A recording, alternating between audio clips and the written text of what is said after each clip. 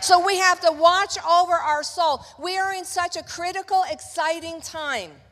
It's such a powerful time that we're entering into that I'll be talking about. But God is saying to us, we have to allow His light to shine so brightly on us to let us highlight or do a Holy Ghost scan, x ray, to see what the root system is.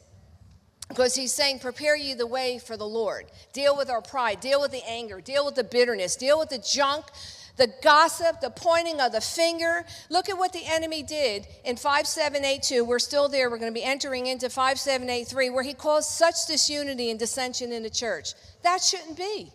It was out there in the world, but who, who was angry with this one over vaccination, not vaccinated, over Biden, over Trump? Come on.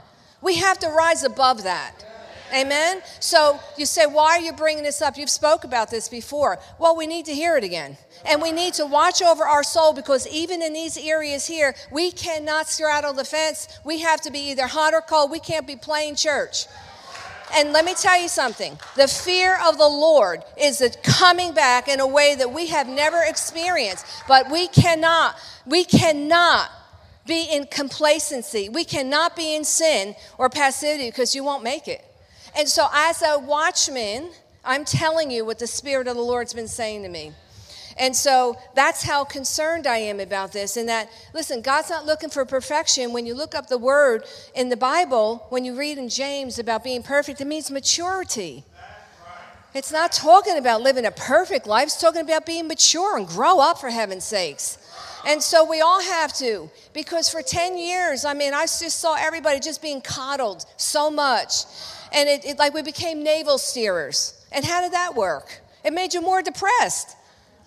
I mean, we deal with our stuff, but then we cut our losses and what? We move on.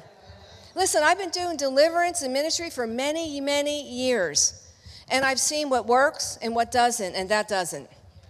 We have got to, like our emotions, God made us spirit, soul, and body. I'm telling you, this is not even in my notes, but I, I know we need to hear this. Spirits, we're made spirit, soul, and body, and we have emotions, but we can't allow our emotions to override us and overtake us. That's where we stand upon the word.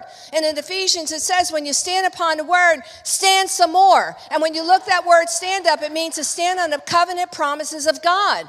We can't allow our circumstances or the past. I'm not saying we don't deal with it, but that's not going to dictate how I'm moving forward because you have to understand the enemy wants to cut your destiny off right? So we say no to that. No, I'm going to live and I'm going to stand on the word because you don't you don't know how messed up I was. My sisters are there. They can tell you. I had issues. hey. Hey. I mean, talk about depression and fear and panic and but I had you have to war for your freedom. We have to war. We have to grab hold of what God has for us. The devil's not going to dictate or prophesy to my future.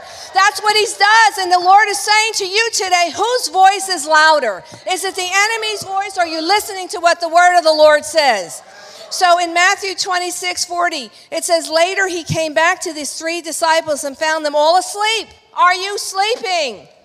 Are you sleeping over your heart issues? Are you sleeping over the truth of the word of what God has told you to do and you've chosen to neglect it? He says, He answered and, and he awakened Peter and said to him, Do you lack the strength to stay awake with me for even an hour?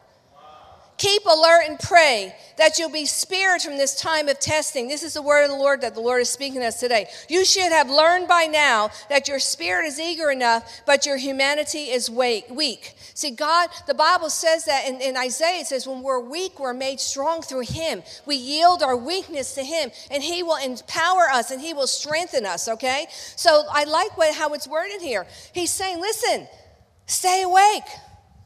Stay awake. We have to stay awake. We have to be in prayer. We have to stay awake. And listen, God wants to talk to us. He's talking to us daily. He's given us ears to hear.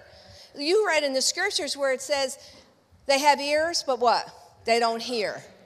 So right now, put your hands on your ears and just say, Lord, give me ears that hear. Because He's always speaking to us. Lord, open up my ears that I hear clearly what your word is saying, what you are saying to me about my situation. Not my opinion, not what I think, not what the world thinks, not what Joe Blow thinks, but what you think, God. So we have to keep actively watching and praying. That's another version, and I don't remember what, which one it is. But that it says here, I think it's the Amplified. Keep actively worship, hmm. Yeah, worshiping too. Keep actively watching and praying that you may not come into temptation. And the spirit is weak, but the body is weak. I mean, the body, spirit's willing, but the body's weak. Proverbs 8:34 says, Blessed, happy, and prosperous to be admired is the man who listens to me. I love this. Watching daily at my gates, waiting at my doorposts. See, there's a watching and there's a waiting for us personally. Then we're familiar with this portion in Habakkuk 2 1. It says, Oh, I know I've been rash to talk out plainly this way to God. It was from the message, I think. And I, in my thinking, stand upon my post of observation and station myself on a tower or fortress, and will watch to see what he will say with me and what answer I will make as a mouthpiece to the perplexity of my complaint against him. And the Lord answered and said, Write your vision, engrave it so plainly upon tablets that everyone who passes may be able to read it easily and quickly as he hastens by. For the vision is yet for an appointed time, and it hastens to the end, and it will not deceive or disappoint. Though it tarry, wait earnestly for it, because it will surely come. Let me tell you something. We're in that season right now. We're in this hourglass season. We, uh, Christine released the word, and now the Lord has flipped the hourglass over on our behalf. And now it's our time. And so um, we have to write our vision. We have to wait. We're watching. We're waiting. But let me tell you something. Now, what the Lord is doing is you know, we are called the ecclesia or the ecclesia, right? We are called to decree the word in faith. We are called to take a stand. We are called to, I know it sounds crazy, but in, in Genesis 1, it says that, or 2, or 1, it says that he's given us dominion to subdue and overthrow and overtake.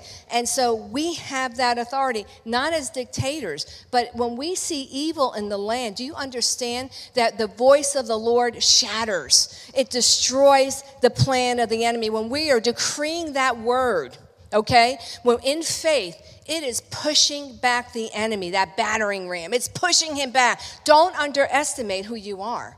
Don't under, that's why do you think prayer is the thing that's the least attended because you don't believe that God is answering. You don't believe the God of breakthrough. Well, some of you may not, I don't know. But, but it's not really attended, right? And so God wants to uh, let you understand and recognize the power and the authority. During worship, I saw keys coming down.